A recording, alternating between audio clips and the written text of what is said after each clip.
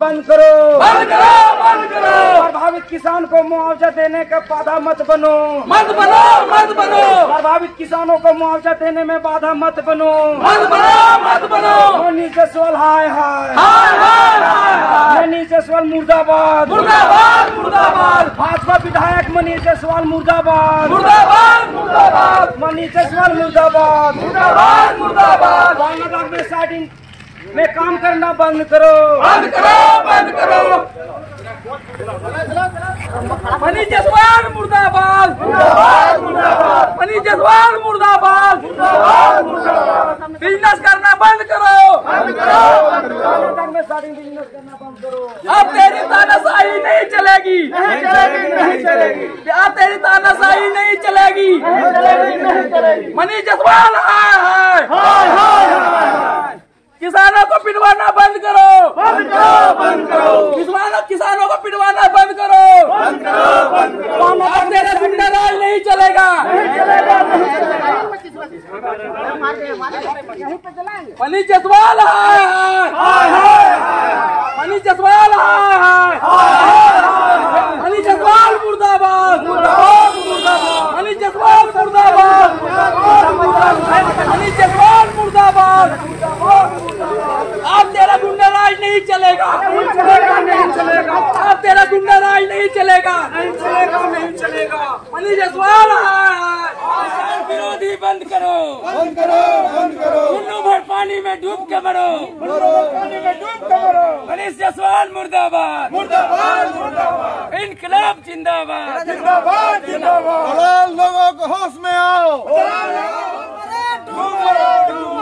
विधायक जी हाय हाय विधायक जी हाय हाय विधायक जी हाय हाय विधायक जी मर गए विधायक जी मर गए विधायक जी मर गए विधायक जी हाय हाय विधायक जी हाय हाय मनी जायसवाल हाय हाय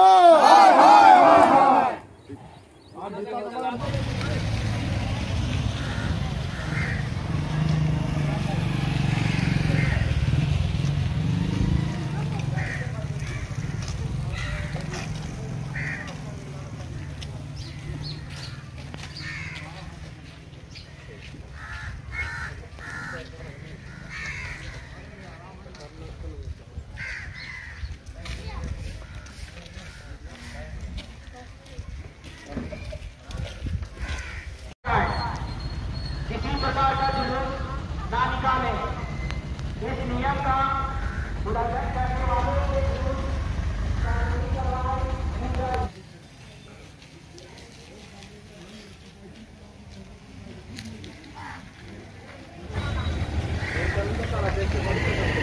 आप सबों को सूचित किया जाता है कि कोविड 19 नियमों का पालन करें, सामाजिक दूरी बनाए रखें, अनावश्यक भीड़ भाड़ न लगाएँ, किसी प्रकार का जुलूस ना निकालें। इस नियम का उल्लंघन करने वालों के विरुद्ध कानूनी कार्रवाई की जाएगी।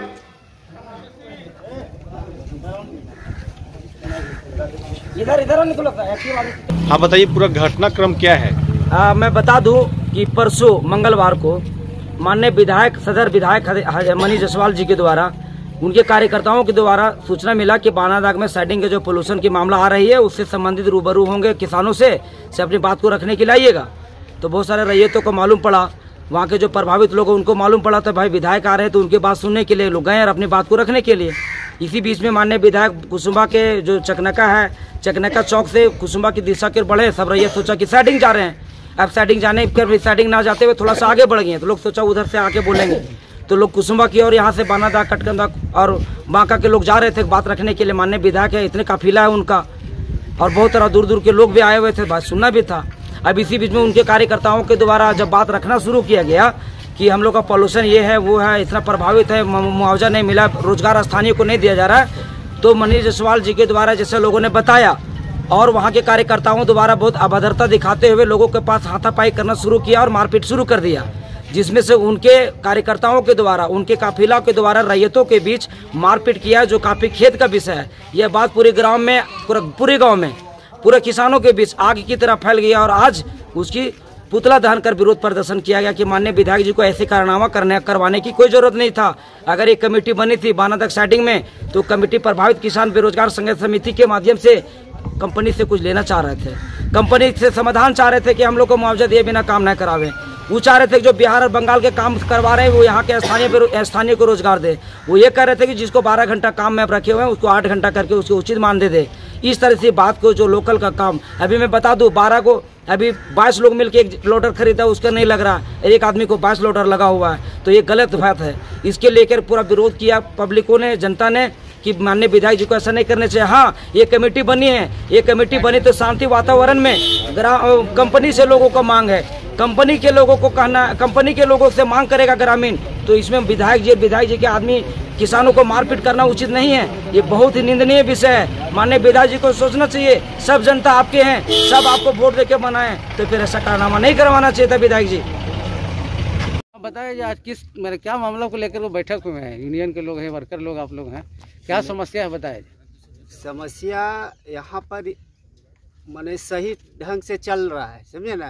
लेकिन कुछ पार्टी पॉलिटिक्स से आकर के यहाँ पर कुछ बार्गलिंग कर रहे हैं, जिससे समस्या उत्पन्न कर रहे हैं। जानबूझ करके सोच रहे हैं कि यहाँ पर ये करेंगे, वो करेंगे, और अभी तक ले कुछ किए नहीं। और जो करने वाले उस पर आरोप लगा रहे हैं कि ऐसा कर रहा है, वैसा कर रहा है। लेकिन वैसा कोई बात नहीं है।